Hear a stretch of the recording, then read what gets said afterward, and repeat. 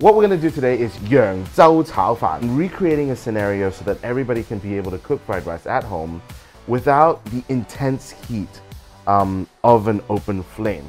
This is a very, very old pan and somehow I've dropped it too many times and the heat doesn't transfer too well. So this is a great opportunity for me to share with you how to make fried rice without all the bells and whistles. Fried rice is the original sustainable dish. It's all about using leftovers. Very simple. Rice, eggs, some meats, typically char siu, leftover char siu, some cooked ham, and some cooked prawns. If you want the crunch in the prawns, there's two things you can do. Boil the prawns, cook them, take them out immediately and put them in ice water. That'll retain the crunchiness.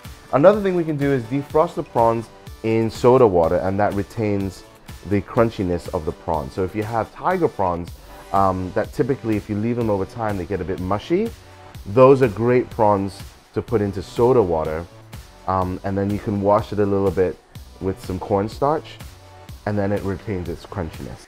Typically I like to add oil using a spoon. I have two eggs in here, beat it so that once I pull it up, it sort of breaks immediately. A light soy sauce is very, very good for flavoring the egg at this point. I know nobody does this. Nobody does this, but we're gonna flavor the egg ever so gently with light soy sauce. That way, I'm not trying to stir fry stuff and try to flavor. And when I try to flavor this way, what happens is maybe only one part of the rice gets the soy sauce and the other parts of the rice kind of need to mixed together a little bit well.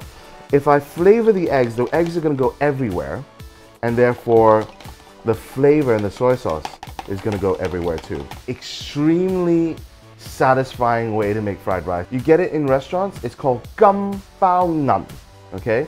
Gum is gold, nan is silver.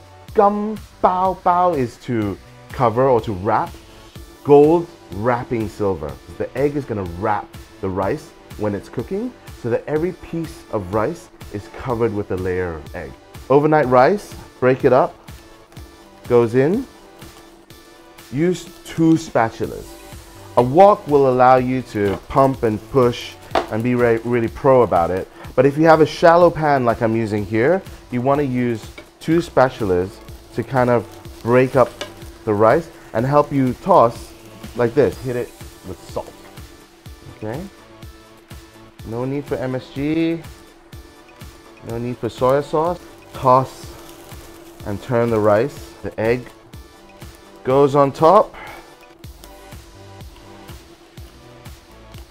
And it completely covers the rice.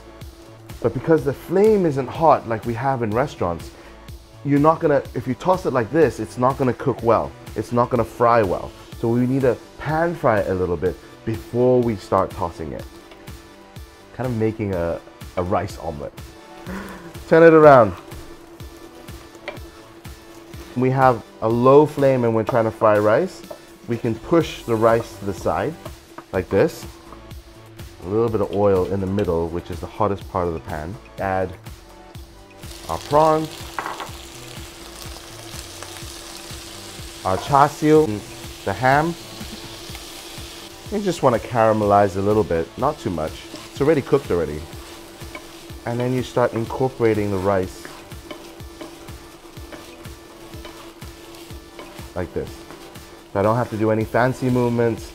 I don't have to do any kung fu with my pan. Flatten the rice out a little bit like a paella